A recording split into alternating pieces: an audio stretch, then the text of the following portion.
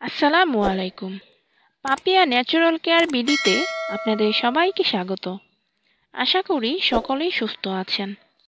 চুল পড়া শুরু করলেই দেরি না করে নিতে হবে সঠিক যত্ন। যার নেই সেই বুঝে। সামনে দাঁড়িয়ে থাকা মানুষটির মাথা ভরা চুলের প্রশংসা করছেন। নিজের চুলের কথা ভেবে দীর্ঘশ্বাস ফেলছেন। রবীন্দ্রনাথ ঠাকুর কিংবা কাজী নজরুল ইসলামের বাবরি দুলানো ঝাঁকড়া চুল। চুল নিয়ে সৌন্দর্য ভাবনা খুবই প্রাচীন। সুন্দর ঝলমলে চুল, চেহারাতে যোগ করে অন্যরকম একমাত্রা। বাড়ায় আত্মবিশ্বাস। এই চুল যখন পড়তে শুরু করে চিন্তার শুরু হয় তখনই। রোজ সকালে ঘুম থেকে উঠে দেখতে পাচ্ছেন বালিশের উপর অনেক চুল পড়ে আছে। চুল আসানোর সময় চিরুনিত একসঙ্গে উঠে আসছে একরাশ চুল।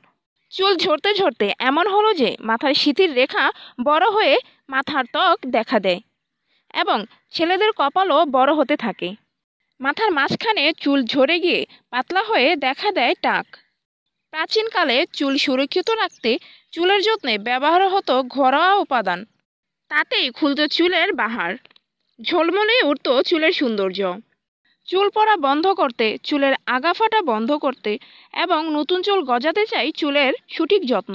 আপনি আপনার ঘরে থাকা একটি উপাদান দিয়ে চুল পড়া বন্ধ করতে পারেন মাত্র এক সপ্তাহে। তাহলে চলুন আর দেরি না করে দেখে নেওয়া যাক সেই উপাদানটি কি। যাদের মাথা ভর্তি একসময় অনেক চুল ছিল, এখন ঝরতে ঝরতে মাথা খালি হয়ে টাক পড়ে গেছে। আপনিও যদি তাদের দলে একজন হয়ে থাকেন, তবে এবার শেষ চেষ্টা করে দেখুন। বন্ধুরা, এখনই আমার চ্যানেলটি সাবস্ক্রাইব করে নিন এবং নতুন নতুন ভিডিও পেতে সাথে থাকা বেল আইকনটি প্রেস করে দিন। আর ভিডিওটিতে একটি লাইক কমেন্ট ও শেয়ার করে দেবেন। রসুন।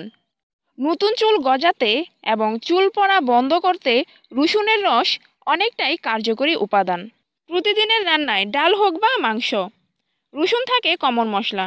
রসুনে নানা গুণের কথা আমরা সকলেই জানি, কিন্তু চুল গজানোর কথা আমরা অনেকেই জানি না। বিশেষজ্ঞরা বলেন, চুল পড়া প্রতিরোধ করতে রসুন অনেকটাই ম্যাজিকের মতো কাজ করে। হাজারো গুণের রসুনে থাকা জিঙ্ক এবং কপার মাথার তালু রক্ত সঞ্চালন বাড়ায়। মাথার ত্বকে ইনফেকশন ও খুশকির সমস্যাও দূর করতে পারে রসুনের রস।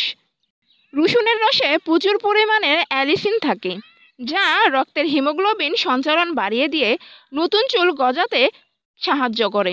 আপনাদের চুল অনুযায়ী রসুন নিয়ে তা থেকে রস বের করে নিতে হবে এবং তেলের মতো করে চুলের গুঁড়ায় এবং পুরো চুলে লাগিয়ে নেবেন।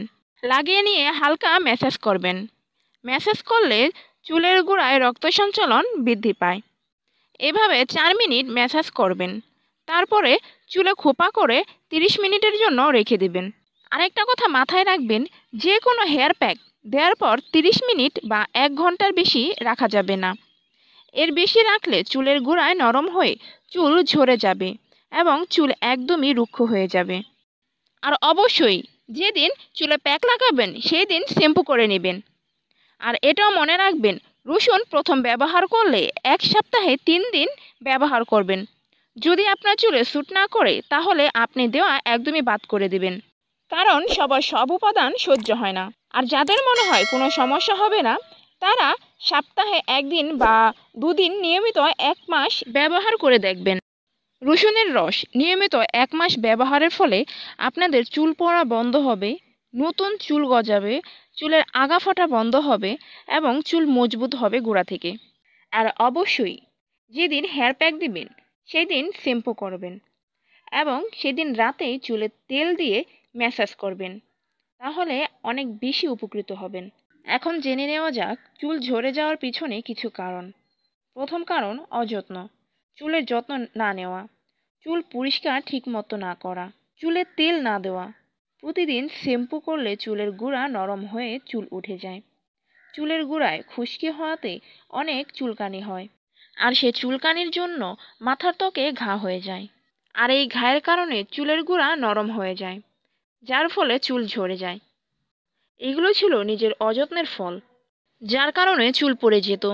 আরও কিছু কারণে চুল পড়ে যায়। যেমন বংশগত, মানসিক চাপ, রোগ প্রতিরোধ ক্ষমতা হারানো, খাবারের অনিয়ম এবং ভিটামিনের অভাব। আবার অনেক সময় ঠিকমতো ঘুম না হলেও চুল ঝরতে থাকে। ঠিকমতো পুষ্টিকর খাবার গ্রহণ করতে হবে। ধুলাবালু ও রোদ এড়িয়ে সঠিক যত্ন নিলেই চুল ঝরা বন্ধ হবে এবং নতুন চুল অবশ্যই গজাবে মাত্র এক মাসে। আর তাই আপনারা রসুনের রস মাত্র এক সপ্তাহ ব্যবহার করে দেখতে পারেন। আপনাদের সমস্যা অবশ্যই অবশ্যই সমাধান হবে। আর ভিডিওটি যদি ভালো লেগে থাকে, অবশ্যই একটি লাইক কমেন্ট অ্যান্ড শেয়ার করে দেবেন।